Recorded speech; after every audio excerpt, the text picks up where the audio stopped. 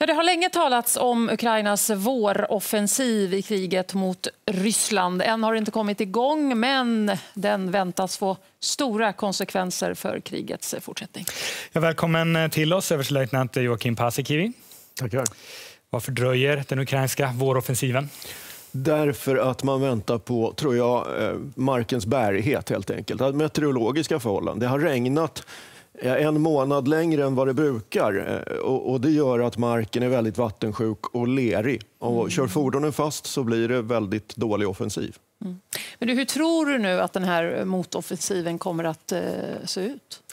Ja, jag tror att eh, ja, det finns ju 90 mil front som man kan välja på. Av det så är det väl 20-30 mil som är mer sannolikt. Jag tror att det kommer att ha, vara fråga om södra Ukraina mm. i eh, Zaporizjzja-regionen. Eh, någonstans i det här området som man kommer att gå ner. Men jag tror också att det kan komma stödjande eh, offensiver lokalt på, ja, i Donbass och nere i Cherson. Mm. Eh, och då kommer man att använda de här moderna västliga stridsfordonen i täten i, ja, kanske sex till nio brigader har man talat om. Alltså det, en brigad är runt 5 000 man, så att det här är stora förband som kräver stora ytor. Och Det är också hundratals stridsfordon och tusentals fordon. Så att det här det är liksom ingen ja, kavallerichock på, på film. Mm. Varför tror du att man slår till just här? Där är marken platt och om man lyckas ja, ta sig igenom de ryska försvarslinjerna som går hela vägen så finns det ett relativt bra vägnät här söderut. Och det man vill från Ukrains sida, tror jag, är skära av de ryska linjerna som går ner till Krim. För kommer man ner till kusten, eller tillräckligt nära åtminstone, då kan man också skjuta på bron här. Och då har man ju helt skurit av mm. hela det här stora landområdet från ryskt underhåll och mm. skapat en helt ny situation för ryssarna. Mm. Så att förstöra den här bron då? då? Den är ju überviktig. Det vore, eh, det vore en lyckträff för ukrainarna. Ja. Men du, den här försvarslinjen då, den ja. är ju... Eh, man har ju sett eh, satellitbilder på att den är ju välrustad från ryska hållet. Det är minerat, ja. det finns fordonsfällor och, och, allt, allt möjligt. Hur ska man... Är det rimligt att ukrainarna kan ta sig igenom den här försvarslinjen? Ja, det är en förutsättning för att en försvarslinje ska fungera det är att den faktiskt är försvarad också. Alltså det är inte bara de här minfälten och, och stridsvagnsgravarna och, och, pyramider och andra mm.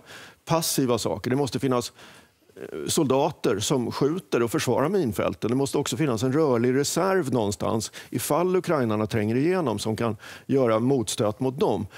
Och det här skapar ett problem för Ryssland. Det är en lång front. Var ska de satsa? Det går inte att ha bara en soldat per hundra meter, utan man måste ha, koncentrera sig.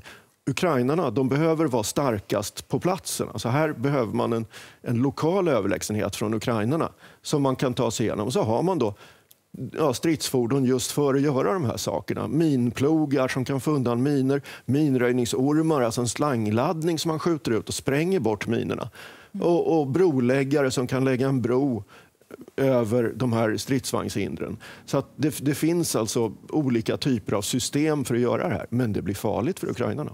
Farligt, det är utmanande, det är en lång front eh, som du konstaterar här.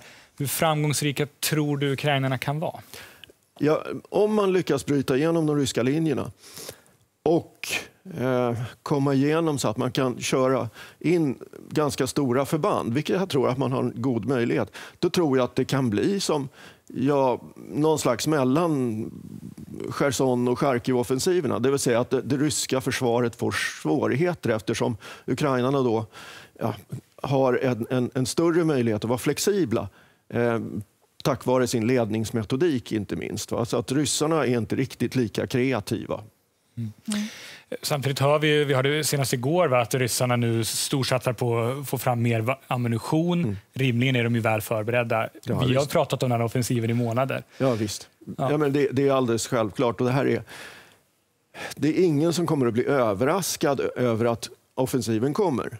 Eh, däremot så kan ukrainarna uppnå kanske överraskning om exakt var det här blir. Det räcker ju då att vara någon mil i sida eh, och hitta en plats som är mindre försvarad än de andra. Eh, och, på det viset nå framgång. Men det kommer bli hårda strider och jag tror det kommer bli stora förluster mm. på båda sidor. Mm. Men det är, ju, det är ju som att lira schack här. Alltså, ja. Vad blir nästa steg så att säga från fienden? Mm. Eh, och jag tänker ryssarna har ju vetat om det här som du var inne på eh, länge. Ja. Det har ju basunerats ut, fast kanske inte Ukraina ville att det skulle bli så här stort. Då, då. Hur problematiskt är det för, eh, för Ukraina då, att det är så mycket, som, mycket information som finns där ute ja, om deras eh, Inte motoffensiv? egentligen. Alltså, ju, ju, bättre det har gått för Ukraina, desto mindre område finns det ju kvar att befria. Alltså, nu har Ryssland ungefär 16 procent av landet från initialt 25 procent när, mm. när, eh, i, i mars-april. där. och det gör ju att det finns färre områden som, som man kan eh, få rörlighet på. Här är ett sånt. Eh, här är möjligen ett sånt om man kommer över floden och här kan det finnas ett par. Så det, alltså, rent militärt så, så är det ett ganska relativt sett färre antal områden som är aktuella och så är det hela tiden. Men exakt var, det är ju det som är problemet. Mm. FN-chefen Stoltenberg sa ju häromdagen att 98, NATO-chefen för, förlåt, eh, NATO Stoltenberg sa häromdagen att 98 procent av det Ukraina har önskat sig i materiell väg har de fått. Eh, hur stor hjälp är det för Ukraina? Ja, det är avgörande. Mm. Alltså de här 98 procenten av, av det utlovade, ja, vi vet inte om 100 procent av det räcker. Eh, det är ju det som är problemet. Mm. Från Ukrainas sida har man ju hela tiden velat ha mer och det är problem därför att eh, det, det, det kommer bli hårda strider. Eh, mer hade varit bättre, men eh, det här, säger man från Ukrainas sida, är tillräckligt. Har man hunnit utbilda sig? För normalt är det på en del av de här systemen är det år, långa utbildningar på dem. Nu har man haft några månader. Ja, eh, alltså här har Ukraina ett problem. De har ju också haft stora förluster och nya soldater som har utbildats. Och det där vet vi inte, för här har ju Ukraina lyckats hålla det hemligt. Vi vet inte var de här förbanden finns. Vi vet inte riktigt hur de är organiserade och utbildade. Eh, men jag tror med det ska säga, facit vi har sett att man från Ukrainas sida har tillräcklig samövning för att kunna göra det här. Mm. Eh, och att man har kunnat öva sina ledningsfunktioner. Alltså det är svårt att leda alla de här förbanden också. Mm. Den senaste tiden har vi sett flera attacker mot rysk infrastruktur. Det har varit mot järnvägar, det har varit bränsledepåer, bland annat senast en i natt. Eh, mm.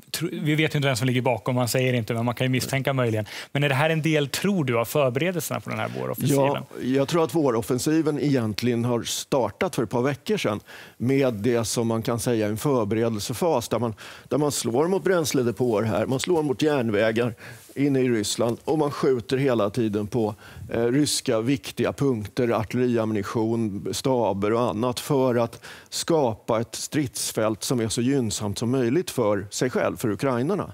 Eh, så man krattar manegen, så att exakt. säga? Mm. Mm. Men du, de här stridsflygen som eh, Zelensky har, har önskat sig, hur, eh, hur går det med den beställningen?